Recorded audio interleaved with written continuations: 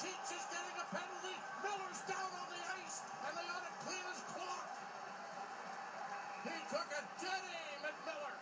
After Miller beat him to the puck and shot the puck into the sideboards, he was leveled. That was not an accidental collision. It sure wasn't. That was as deliberate as you can possibly get.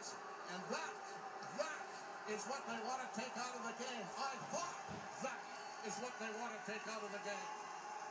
Well, he should get more than two, I'll tell you that. That was an attempt to injure. Charging, they're going to call it.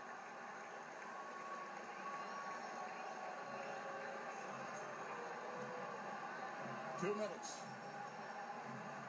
Charging.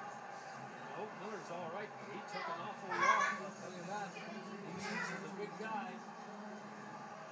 This is where you should Where are you? Your team has a goaltender too. That is one way of responding, that's for sure. But, And it has happened. yes, it has. Yeah, you want to think this is still pretty early in this hockey game. You know, Ryan Miller, after he gets hit, he sent a little bit of a message there, swinging his stick, saying that he's not going to take it.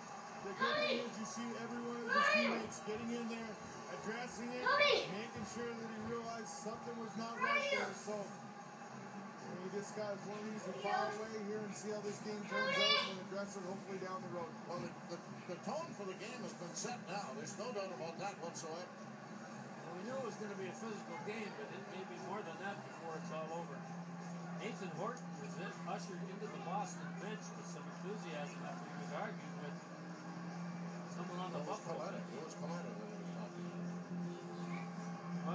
interesting to see what happens here, both ends of the ring. Miller apparently was all right. He's up and he stays in there. But he was targeted. There's just no doubt about that whatsoever.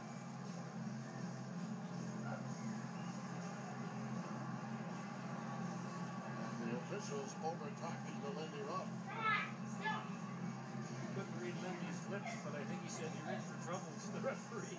Marc Joannette, you speaking to.